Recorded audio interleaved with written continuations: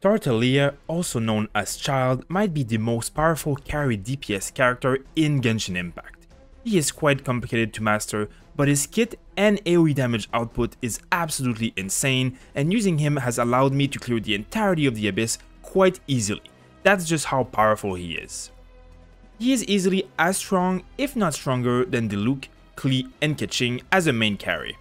Another point about Tartaglia is that his scaling seems very exponential, so the higher the level and the better the gear, the more amazing he is.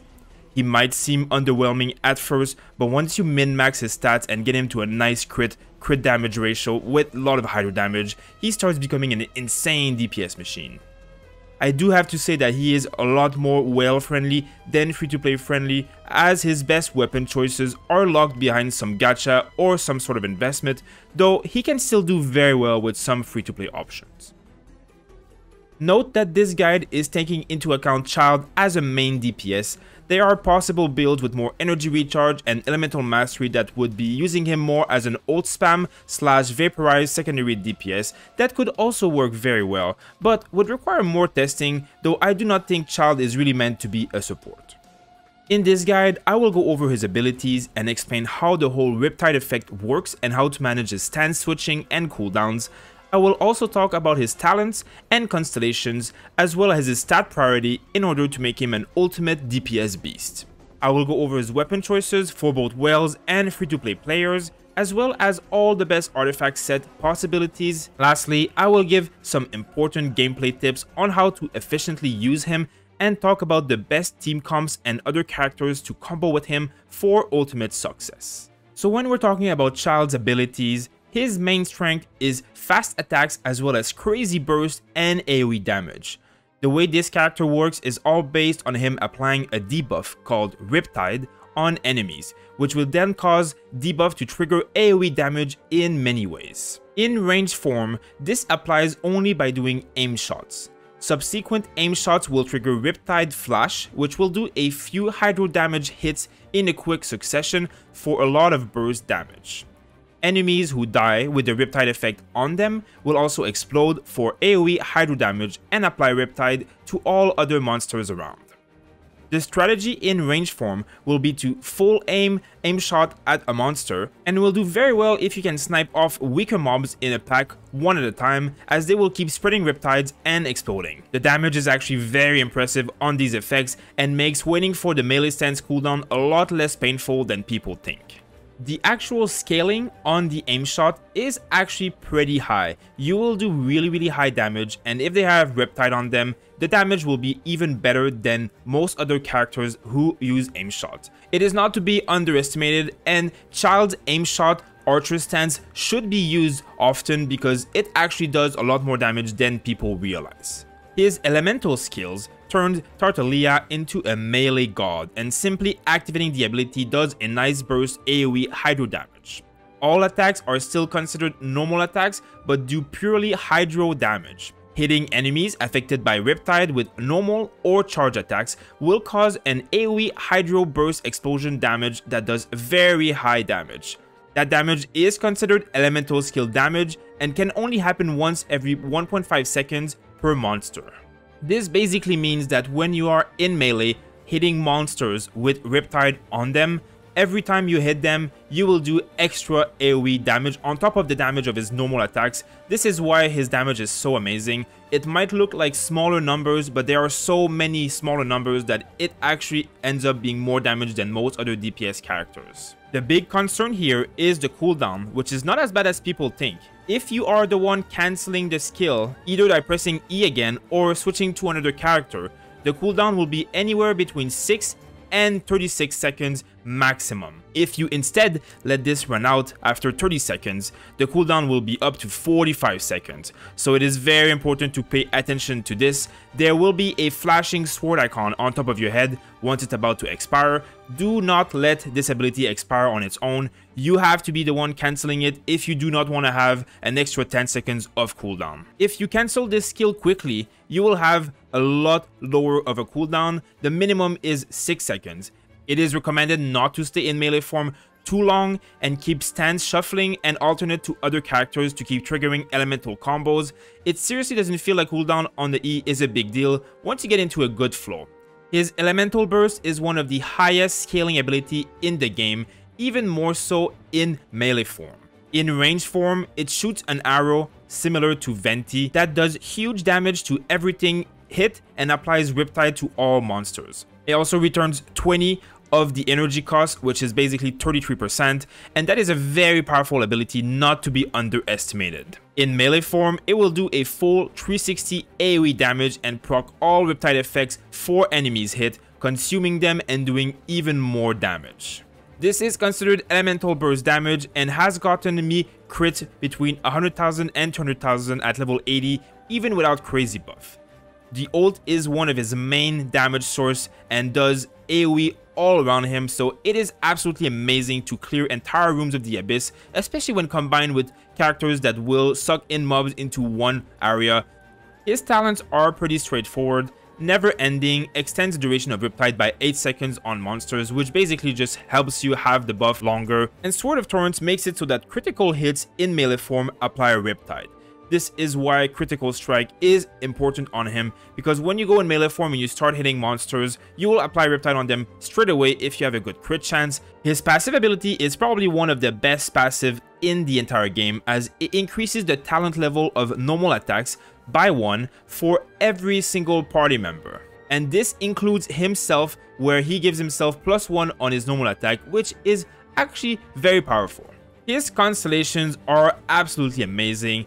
The first and second one are some of the most important one, and then if you're whale, the fourth and sixth ones are game changing.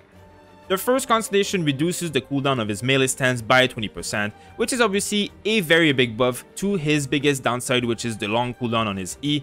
Now, as much as this is a good buff, it is not required to play Childe. A C0 Childe will still perform amazingly. The second constellation gives him 4 energy every time he defeats a monster and is probably one of his most powerful because of that. This will let you spam his ult like crazy, especially in high mob density area like the Abyss, and his ult is so powerful that this is game changing. Constellation 4 is also a huge DPS increase, it allows to trigger extra Riptide effects on enemy and basically gives them a dot when they have Riptide on them, it just increases your DPS tremendously.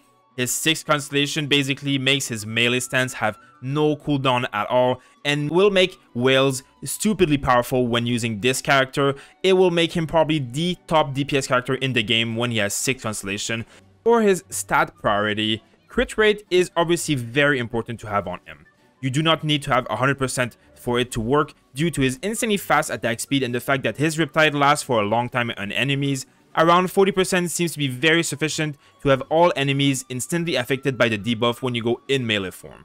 Hydro damage, crit damage, and attack will be the other priorities in terms of stats, while making sure to keep a good ratio of 1 crit rate for 2 crit damage. Energy recharge is also not a bad stat at all, since his ult is insanely powerful, especially when using 2-piece Noblesse Oblige or having some of the Constellation you will want to make sure to have attack on the sands, hydro damage on the goblet, and crit rate or crit damage on the circlet. Note that it is also possible for the sands to have something like energy recharge or elemental mastery in some builds, but it still requires a little bit more testing to be sure. For weapon choices, Skyward Harp is by far his best in slot, providing him crit rate, crit damage, and the passive that works both in melee and range form. Now, the advantage that Skyward Harp has on top of other weapons such as Rust is that it boosts all of his abilities, including his Riptide and his ult, on top of all of his normal attacks. And because it is a 5 star, the base attack will get tremendously higher than any other 4 star weapons, especially at level 80 or 90. And the fact that it provides crit rate means that you can itemize for more crit damage on your gear, which will take his damage to even higher degrees.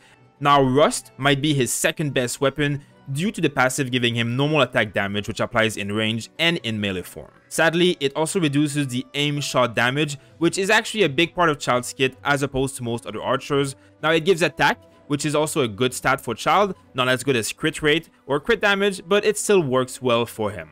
Now the passive is obviously what's amazing about Rust by boosting his normal attacks, Sadly, it doesn't boost the damage that his Riptide procs do, and it doesn't help his ult at all. So while you might seem like you're going to do a lot more damage with a Rust, especially with refinement levels, you are also losing out on a lot of damage when you ult, and every time your Riptides proc, you are losing out on a lot of damage. So as much as some people are going to say that Rust might be better than Skyward Harp, it looks better because your auto attacks do more damage, but your Riptides and your ult are going to be a lot weaker than Skyward Harp would provide. So I think they're pretty even. If you have a 5 refinement Rust, you might be slightly ahead, but Skyward Harp at level 80 or 90 will most likely still outperform Rust if you look at the numbers properly and you take into account the damage from Riptide. Amos Bow is probably after Rust because it is obviously another 5-star weapon with very high base damage which will scale better than any other stat in the game. The passive is also pretty good, but obviously not as good as Rust, so Amos Bow is probably the third best choice for this character. Now, the Viridescent Hunt, the BP weapon,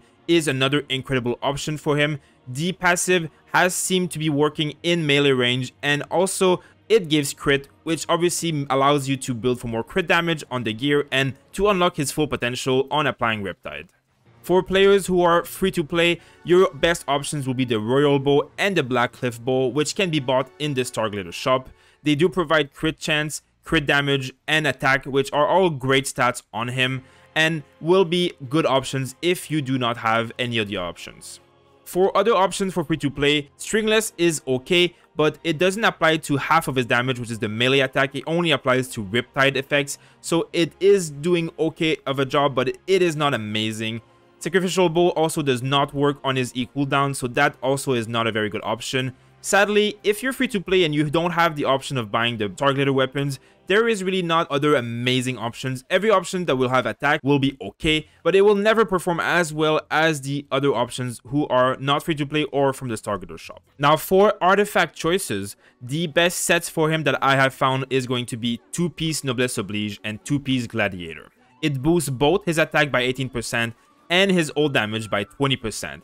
As I said earlier, his ult is one of the biggest source of damage that this character has, and until we get a water damage set, this is probably going to be the best option for him.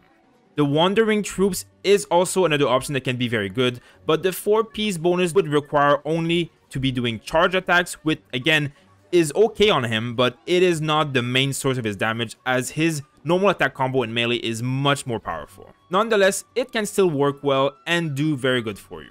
4-piece Gambler would also be an insanely powerful option because it actually kind of works with a skill cooldown, but the fact that it is not a 5-star item will make it so that you will lose a lot of DPS from not having 5-star items and will not be the best option because of that. There doesn't seem to be many other options for him until we have a new set that boosts hydro damage, as most items don't work well for him because he's a bow user, so 4-piece Gladiator doesn't work because of that. Martial Artist and Berserker would be great if they had 5-star version, and you can use those until you get to the point where you can farm those 5-star items better. It is quite complicated and will require a lot of testing to figure out his best team comps and combos, but Vaporize is going to be one of the main source of big burst damage, so bringing a character such as Xiangling or Bennett is going to be very important. When you cast a Hydro ability on a monster that is affected by fire, your Hydro ability will do 200% damage Vaporize, so this is going to be the biggest source of damage nuke for Childe. Electric supports such as Fischl are obviously very powerful with him as well, enhancing his already crazy AoE more with Electro Charge, if you have 6 Constellation Fischl, it is going to be the most broken combo and you will have to pair her with him.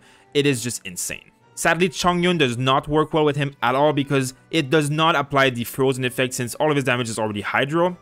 Now, Anemo supports such as Venti and Sucrose will be S plus tier with him because they are able to gather mobs into a cluster and enable his maximum damage potential with him. So far in my testing, he's been an absolute beast at clearing the levels of the Abyss. He is better the more monsters there are, so he is an absolute room clearer and is insane at also farming a lot of the artifact domains that have a lot of monsters. I hope that you guys enjoyed this guide and have some better information about how to play him. Of course, we will keep learning and testing more and more, and I will be live streaming playing this character for many days in the coming weeks, so make sure to tune in and come ask me questions if you have some, as well as watch my footage of me clearing the entire Abyss 12 with him and see how just amazing he is. Make sure to check out our channel on Not Casuals, we have tons of different character guides. Over 60 different Genshin Impact videos are available for you to watch, and we live stream every single day, and we love to answer your question and help you out. As always, guys, thank you for watching, and I hope to see you guys on the next character guide.